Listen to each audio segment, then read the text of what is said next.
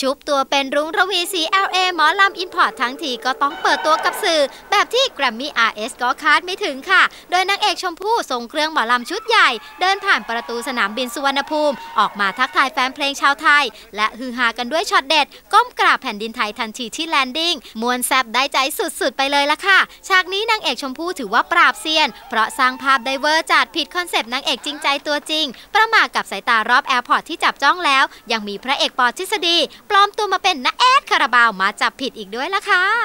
ผมอยากจะมาเค้นเอาความจริงว่าตกลงเนี่ยมาจาก LA หรือมาจากร้อยเอ็ดกันแน่ถามว่าวันนี้คนดูเยอะรู้สึกเป็นยังไงบ้างครับชมครับ ก็รู้สึกอายแล้วก็ขายหน้าพอสมควรใช่มีโชว์ นี่แค่เรายังไม่เต้นนี่คือฝรั่งก็มองเราจะไม่รู้จะมองยังไงแล้วผมนะจะบอกฝรั่งว่า welcome to Thailand ครับผม ไม่อยากจะบอกเมื่อกี้นี่คือต้องเดินออกมาจากข้างในอะที่แบบว่า เหมือนคนเดินทางมาจากต่างประเทศจริชุดงประจำชาติของเรานะๆแล้วฝรั่งมองแบบว่า อะไรพี่ทงทงก็ welcome to Thailand อะไรอย่างเงี้ยอืมเนียนใส่จากนี้ไปก็ได้หมดแล้วค่ะ